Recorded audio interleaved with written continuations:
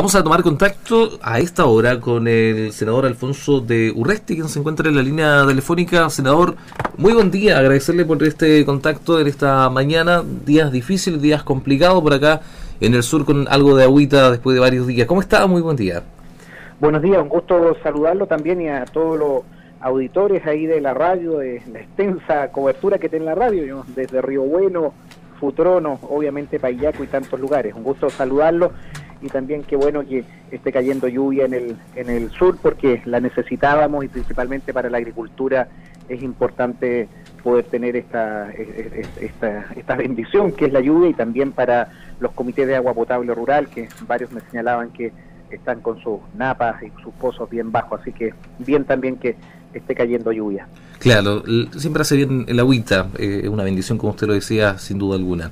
Eh, senador, eh, hablando del Comité de Agua Potable Rural, APR, hablemos del APR de Manau Bajo. Usted realizó, bueno, eh, este comité realizó una donación muy importante de harina y huevos para Payaco. Hay una importante campaña que se está realizando en nuestra comuna de parte de la municipalidad con eh, diferentes, hay diferentes instituciones también que han estado haciendo parte de una u otra manera de esta campaña muy importante para los días que se aproximan y que pueden ser muy, pero muy complejos, muy difíciles. Destacar esta donación que... felicito las iniciativas solidarias, veía ahí que el municipio estaba copiando eh, papas, que había Correcto. una donación de, empresarios, de, agricultores, eh, bien lo que hizo la Colum, también ahí, si bien no es de no, no, es directamente de Payaco, pero también es una empresa nuestra, de la región. Nuestra región de congelar los precios, que bueno también esto APR o vecinos, mire, todos, todos tienen que hacer una, una contribución. Eh, en el caso personal, nosotros como senadores del Partido Socialista, y particularmente en lo que corresponde a mí, nosotros vamos a eh, eh, donar un, porcentaje, un 25% de, nuestro, de, nuestras remuneraciones, también a organizaciones sociales, de manera tal de beneficencia, porque eso uno tiene, este es un momento de solidaridad. Y quienes estamos un poco mejor, porque tenemos un sueldo, tenemos una producción de gallinas o de, o de madera o de o de papa, es el momento de solidaridad porque eh, se vienen tiempos difíciles, complicados y en definitiva lo que tenemos que hacer, además de la protección de salud, que es lo que están haciendo los hospitales, lo que están haciendo los equipos médicos, lo que están haciendo los infectólogos, también tenemos que hacer una protección grande, grande al empleo, al, al, trabajo, a la gente que tenía un furgón escolar, que tenía eh, una pequeña producción agrícola, que tenía un comercio y que no está vendiendo ningún peso, no está vendiendo nada y tiene que pagar arriendo, tiene que pagar a, dependientes, tiene que pagar a, trabajadores. Entonces, eh, todo, todos los esfuerzos son, son válidos y felicitar, felicitar ahí que, que se esté haciendo esta solidaridad y de una APR aún más. Estuve en la inauguración de, de esa APR, eh, he estado en distintas eh, actividades, así que felicidades a, cada uno de los, de los, de los hombres o mujeres solidarias que están haciendo eh, eh, eh, esfuerzos para ayudar a sus vecinos. Bueno, considerando todo esto y toda la contingencia nacional, senador, me gustaría preguntarle, y considerando que hoy gran parte de los trabajos que se están realizando en, eh, los sectores públicos, las oficinas, etcétera, se está todo realizando eh, a través de vía online. ¿Siguen las gestiones en las APR? ¿Cómo se está trabajando desde esos puntos, por ejemplo, para seguir gestionando diferentes informes, diferentes recursos, quizás? Mire, hay que seguir trabajando en, todos los frentes, yo lo digo con todas sus letras. Eh, una cosa es tener la cuarentena, tener el, teletrabajo, pero esto no son vacaciones. Los funcionarios públicos tenemos que seguir trabajando y cada uno por teléfono o por internet o por lo que sea tiene que trabajar y hacer las gestiones necesarias para que siga funcionando, se sigan sacando adelante. En el caso, por ejemplo, de los APR, está la certificación del agua, los exámenes que se hacen de, la calidad de agua, los proyectos que se llevan en, construcción tienen que realizarse. Hablábamos ahí ayer con, los lagos, en la localidad de Tomín, de San Pedro, se está construyendo, se están eh, haciendo el, el, trabajo.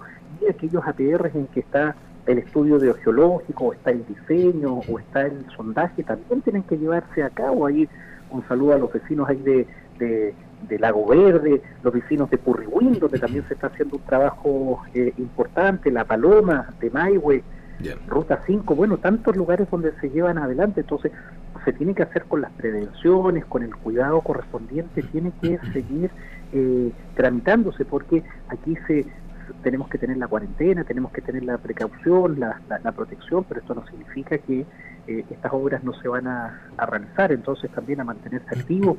Me ha llegado harto informes de juntas de vecinos, de, distintos APR, eh, de, seguir adelante, seguir adelante eh, a, media máquina o con lo que con las limitaciones que, que ocurre, pero no podemos parar esto porque además hay que pagar operarios, hay que pagar funcionarios y tenemos que seguir trabajando. Hay una buena, una buena noticia, la gente de, de Lagorranco, el municipio de Lagorranco ayudó a algunos APR principalmente para pagar sus cuentas, algunos APR donde hay gente de edad, gente eh, que no tiene mayores ingresos, se hizo una transferencia por parte del municipio que fue bastante bastante buena en Lago Ranco, así que felicitar esa iniciativa y que también se pudiera replicar tal vez en otras en otras comunas.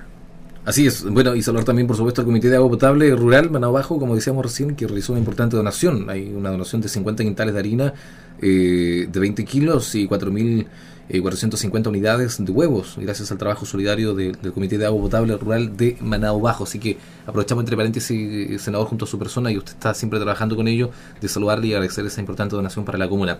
Número dos, importante tema también, asfalto básico, camino Puente Fierro, un tema muy importante, sabemos que usted también ha estado presente en aquello. De todas maneras, yo creo que eh, de Maihue Puente Fierro es una localidad que ha trabajado mucho, estamos justamente con el agua potable ahí, ellos se integraron a de Maihue eh, pasarela con Ruta 5, un proyecto grandote, y lo del asfalto también era un, un, anhelo, un, logro que ellos estaban pidiendo. Hoy día es una zona que se ha poblado, es como el barrio norte, es, la cabecera norte de, eh, de la comuna, un camino muy transitado que también tiene que ser una alternativa el día de mañana también desde la Ruta 5 para poder acceder por eh, esa parte a, la comuna. Así que me alegro que se esté avanzando en ese asfalto, fue un compromiso que hicimos ahí con los vecinos, además estuvimos con la gente de vialidad hace ya eh, por lo menos dos o tres años, así que contento. Mire, las localidades que se organizan, las localidades que tienen sus juntas de vecinos, que tienen sus comités de adelanto, que tienen a los vecinos motivados, pucha, que, que, les, que les va bien. Y creo que de Maigüe Pentefierro es una localidad que lo está haciendo eh, bien porque saca adelante sus proyectos, empuja su sede, empuja su asfalto, su agua potable, entonces eso hace mejor eh, la calidad de vida. Recuerdo haber estado con ellos también en un, proyecto de reciclaje que tenían ahí de, de, productos. Eh, entonces, eh, yo creo que hay que, hay que destacar cuando las, localidades, así como Reumén o Pichirropulli, han, han desarrollado eh, capacidad de gestión, capacidad también de sacar proyectos adelante, uno tiene que no tiene más que felicitarlos y también ponerse a disposición de que de que sigan mejorando su, su infraestructura, su, su, su calidad de vida. Bueno, en cuanto al asfalto del, eh, básico del camino Puente Fierro, eh, senador, ¿cuántos kilómetros fue lo que se, se está trabajando ahí en cuanto a ese asfalto? Mire, no, no, recuerdo la cantidad exacta, son Cuatro kilómetros tengo acá. Cuatro, kilómetros, pero en definitiva es, la, es la cobertura desde eh, la, misma localidad hasta hasta Payaco, lo, lo que va paralelo a la, a la línea del tren y luego eh, lo que se interna hacia el sector más poblado. El día de mañana también hay que avanzar con ese camino para poder acceder a la ruta a la ruta 5, en definitiva que sea un circuito, que sea una alternativa de acceso eh, norte a la comuna y eso permite descongestionar y permite también a los vecinos eh, salir directamente hacia, hacia la Ruta 5. Entonces, eh, son, son avances, son mejoras que tienen que ir avanzando en la conectividad de, de, Futrono, de, perdón, de Futrono y eh, Payaco. Y digo Futrono porque me salto inmediatamente a un proyecto que es mucho más grande, que no, no es con no, no, es, no es asfalto básico, pero es el camino a San Pedro. Es un camino que tantas veces se peleó y que le dio protagonismo, le dio eh, una mejor calidad de vida ahí a Lago Verde, a Purrihuín, a Santa Rosa Grande, Santa Rosa Chica, en definitiva poder acceder a la playa San Pedro, que si bien pertenece a la Unión, pero eh, Futrono eh, le permitió a Payaco acceder a, por ese camino eh, directamente. Y, esa es una obra que si bien que la empresa quebró en el último momento, pero es una obra tremenda, tremenda que, le cambió la, la, vida. Y lo mismo lo que tenemos que terminar la conectividad también por eh, Arcoiris con Doyinco para conectar con Futrono. Son dos vías fundamentales de de Payaco que la, la, vinculan, la, la, la, conectan directamente con el lago Ranco como destino, ya sea Futrón o La Unión, pero con, con la zona cordillerana y también estos otros caminos que avanzan hacia la zona norte, como lo que estamos hablando de Maihue, Puente Fierro, porque eh, eh, deja la, a la ciudad bien conectada, deja la ciudad eh, con mejor acceso a, distintos, a distintas localidades. Correcto, bueno, sin duda un tremendo trabajo que usted también hay que reconocer, eh, senador, ha hecho con eh, los diferentes sectores rurales de, de, la región, en específico acá en nuestra comuna de Bayaco, lo que es el agua de, lo que es el tema de APR. Pero me gustaría preguntarle en otro contexto acerca de una carta AFP, o la carta AFP, una, una solicitud que usted, eh, su persona, junto a otros parlamentarios, eh, pares de su persona, realizaron al presidente Piñera por en el ámbito económico que está sufriendo o están sufriendo diferentes familias de nuestro país y personas producto de, de la actual pandemia que, que, estamos viviendo hoy día. ¿Qué pasa con respecto a eso? ¿Cuál es la solución que el gobierno a su persona eh, podría dar o la solicitud que ustedes hicieron al, al gobierno actual, al presidente específicamente? Mire, eh, ante esta crisis que se está viviendo, principalmente lo que se denomina una crisis de liquidez, porque en definitiva hay menos dinero, hay menos circulante, en definitiva, eh, como se dice en buen chileno, eh, hay menos plata en el bolsillo, porque el comerciante no vende, el agricultor no vende su cordero, el, el, el que produjo papas no puede venderla, eh, el restaurante no vende, no hay garzones, o sea, hay un problema claramente de falta de liquidez de poder tener disponibilidad de recursos para pagar las cuentas, para pagar el crédito en el banco, para poder pagar la universidad de los hijos, distintas cosas. Nosotros hemos propuesto junto a otros senadores y senadoras eh, que se pueda retirar un porcentaje de la plata que, que se, se, tiene en las FP, un 10%.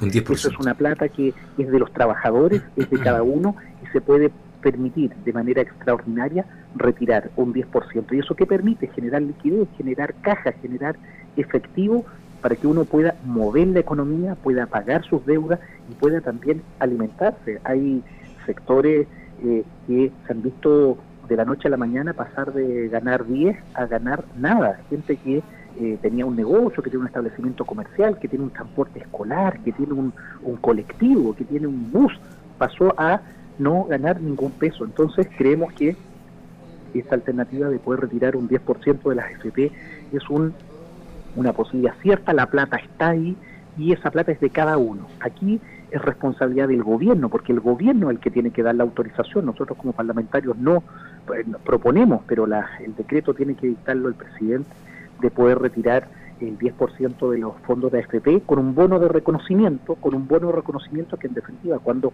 se recupere la economía, cuando en uno o dos años más estemos nuevamente en marcha, se pueda reintegrar de alguna forma esa, ese fondo con un fondo de, de, reconocimiento por parte del propio Estado. Yo creo que esa es una solución rápida, concreta y no darnos tantas vueltas, mire que un fondo que usted postula, que va al banco, no, no, no, esa sería platita fresca para cada eh, ciudadano, para cada persona que pueda recibirla. Prácticamente eh, hay por lo menos 12, 13 millones de personas que tienen AFP, que tienen una cuenta, que no se han jubilado todavía, que tú perfectamente de ahí puedes sacar uno o dos millones que sin lugar a dudas van a permitir en los próximos en los próximos meses eh, parar la olla, parar eh, eh, inyectar recursos para poder pagar. Así que esperemos que eh, la ministra del Trabajo y Previsión Social y el presidente de la República acojan esta propuesta que no tiene ninguna cosa estrambótica, sino que es clara y precisa respecto de decir retiremos el 10%. Se ha dicho en otros países y es platita de nosotros. Recordemos que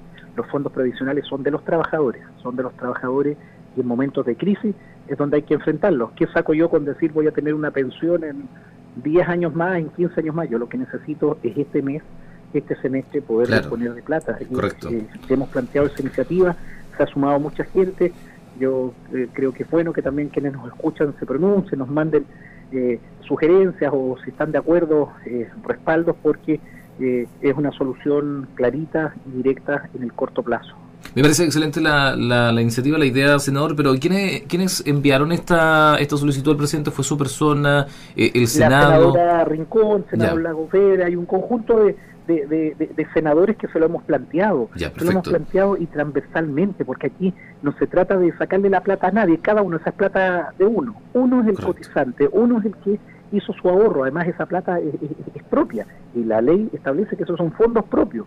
Entonces lo que estamos pidiendo, permítanme utilizar para una emergencia, porque esa plata no la voy a usar para ir a, de vacaciones, no la voy a usar para cambiar el auto, no la voy a usar para, eh, no sé, comprarme ropa, la voy a usar para pagar mis deudas ante la crisis más grande que hemos enfrentado en los últimos 80 años. Entonces, es una solución efectiva y posible. No estamos hablando de plata que hay que sacarla del Estado o hay que sacarla de, no sé quién. Es una plata que es de todos los chilenos y es de cada uno, particularmente en su cuenta individual. Así que esperamos que esta propuesta, insisto, la hemos trabajado, la, la revisamos con los, con los parlamentarios y eh, la pelota, la decisión está en manos del presidente de la República.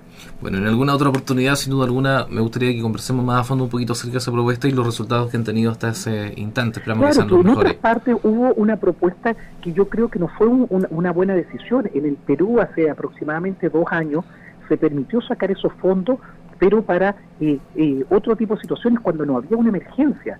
Era cuando tú lo justificabas, si tenías una enfermedad terminal o alguna situación de esa naturaleza.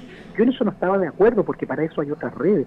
Pero hoy día, ¿qué crisis más grande tenemos? ¿Qué, qué eh, parón más grande de la economía? Estamos ante la situación más grave, insisto, en los últimos 80, 100 años. Nunca el país y el mundo había tenido una, una, una solución, una crisis de esta naturaleza. Entonces, cuando hay grandes crisis, cuando hay grandes problemas, tenemos que buscar soluciones, soluciones creativas, soluciones rápidas, porque acá no podemos decirle, y seguramente mucha gente nos escuchará, mire, sabe que el gobierno va a enviar un proyecto de ley y con ese proyecto de ley se va a transferir plata a los bancos, usted vaya y postula en el banco con sus antecedentes. No, eso nos va a llevar cuatro meses, por lo menos el poder tener disponibilidad. Si esto se decreta, si esto se permite, es un retiro que opera eh, rápido y que opera en las cuentas individuales de cada uno. Entonces uno puede tener la certeza de decir, esa plata hoy día, eh, eh, ante la crisis, obviamente la voy a destinar para pagar mis cuentas, para pagar las deudas que tengo y con eso tú mejoras la liquidez que hay en el mercado, que exista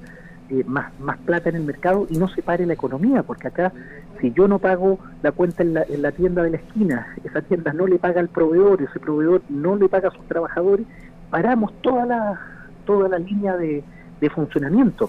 Entonces, eh, es una, una medida que, hay que estudiar y que creemos que puede ir en solución efectiva de la gente a lo largo de todo Chile. Totalmente. Senador, muy agradecido por este contacto en nuestra mañana de canciones y por supuesto para nuestra edición de la 13 le agradecemos tremendamente y por supuesto le invitamos, al igual que a todos, a cuidarse en este momento. No, para ustedes un gran abrazo y saludar ahí a toda, toda la, la audiencia, no solo en Payaco, sino en toda la en toda la, provincia del Ranco y distintas comunas. Así que un gran abrazo y particularmente en Payaco felicitar el trabajo que está haciendo ahí la municipalidad de solidaridad, de, acopiar alimentos, de ayudar, de, proteger el, agro. Yo creo que eso es tremendamente importante. Hemos estado en línea ahí con la eh, alcaldesa Ramona Reyes y con su equipo y felicitarlos porque hay que hay que ser solidario y también eh, felicitar a quienes se han metido la mano al bolsillo a quienes están aportando desde quintales de harina o papas o cualquier producto. Un gran abrazo y, y buenos días.